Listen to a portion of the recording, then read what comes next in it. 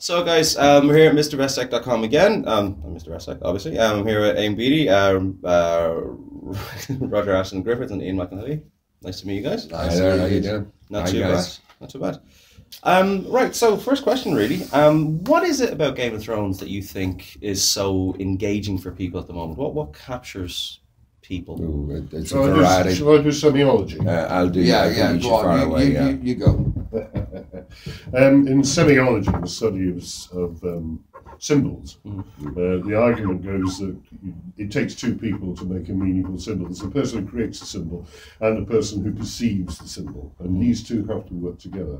Now, of course, every filmmaker makes something, every film watcher sees something, but somehow in this case, the symbol, what we make, seems to have become bigger in the eye of the people who watch it. I don't think it's anything we've done in particular. It's just it's a combination of events, but it, it, it's about the semiology of the series. It creates a bigger world for people than perhaps they've encountered elsewhere. And from a practical point of view, I would have to say that uh, the storylines, the world that has been created, the talent that's on screen, the talent that's off screen, creating the world of Westeros, the Yeah. attention to detail, the production values, and quite frankly, the genius of the storytelling. Uh, it gets better and better every season. The viewer gets more and more engaged, as, Yeah, as you yeah. have said, Roger. And it has created, a- I mean, it has created a bar for what I believe is the golden age of television that we're beginning to enter. And it really has created a benchmark that everybody is trying frantically to scrabble towards. It is a stunning show. And I speak as a huge fan of the show. It is an absolutely stunning show. You get completely wrapped up in it. You know, I, I need go no further than hold the door for the genius of the storytelling that cut people to ribbons. Episode nine of season six is quite simply the best episode of television that I have ever seen. So, you know, that's the reason why it's really that good. Well, people, I mean, uh, today's world, people seem to love to escape into other worlds. The great thing about Game of Thrones is you can escape into it and stay in it. Mm-hmm. I mean, when you meet people at, at conventions like this, they they they live that that world's life Mhm. more richly than we do. You know, I mean, we've been in it and we've had, you know, we've done our time in it. But I mean, Yeah.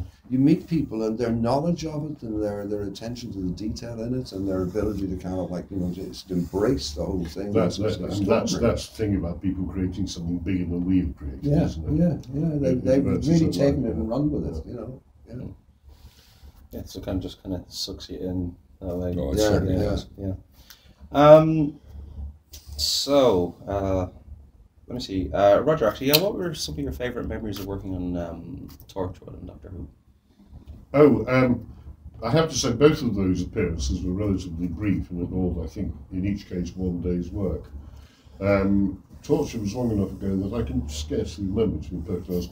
Uh, however, there was a bit I had to spit in the face of the Sheriff of Nottingham, who was um, Miller, what's his name? Jonny Lee Miller. Hmm? Right. Is it Jonny Lee Miller? No. Um, Ar- Armstrong and Miller. Armstrong there, that Miller, yes. Um, Ben, Ben? Is it Ben Miller? Ben Yeah. I had to spit in space. yeah. So, water. No, too much water. Okay. A little less water. Not enough. Too much water.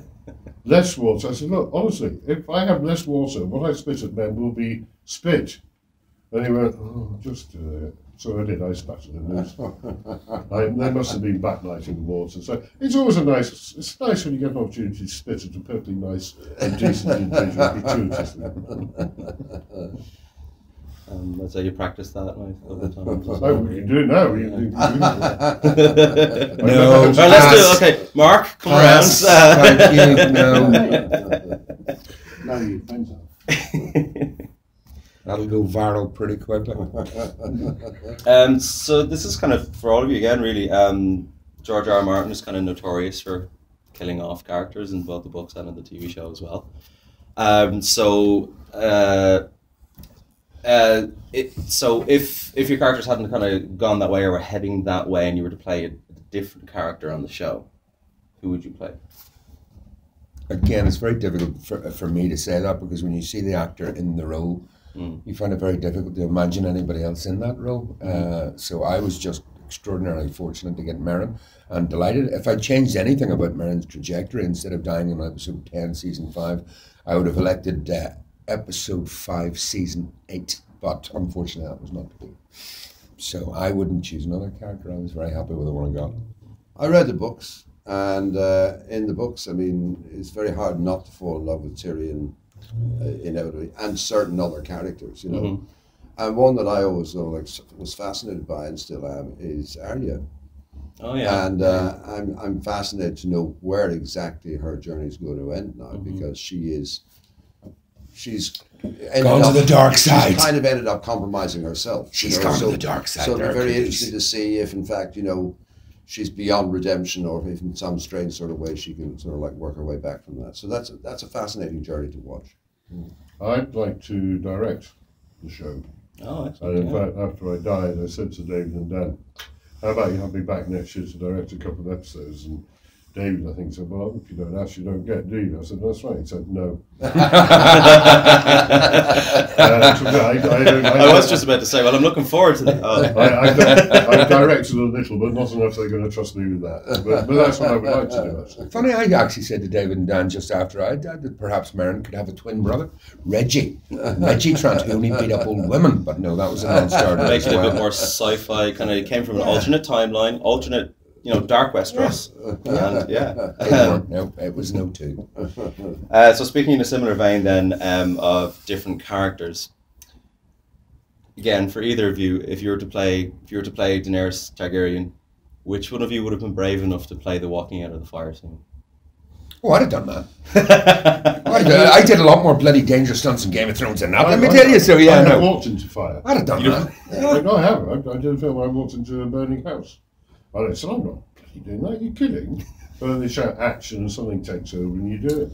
Yeah, you, you, oh, something You does take. be- In a lot of I mean, cases, something you do takes have over. to have a you certain it. mental Yeah. imbalance to be an actor in the first place. Let's let's not Yeah. be under any illusions. here. You have to be and, and, daft. and you also have to trust, you know, and in the main you can, the SFX boys that they're, they're, they're they, extremely they, safe. know what they're doing Yeah. and They they, really they've do. prepped you properly, which they have, and they've walked you through all the elements so that mm-hmm. as much as can be the case, Yeah. you feel no matter how dangerous or dramatic it looks, I'm in You're a relatively safe. safe, environment. Yeah. You know. Excellent. All right, brilliant answer. Okay, well, that's uh, that's all we have time for, really. Um, it's Mr. Vestek here from MrVestek.com, guys. Um, it's been an absolute Thanks very pleasure. much. Pleasure. Thank you very much. Cheers. Thank Thanks you a lot, guys. very much. Nice to meet you. Thank you again. Thank you. Thanks very much. Thank No you. problem.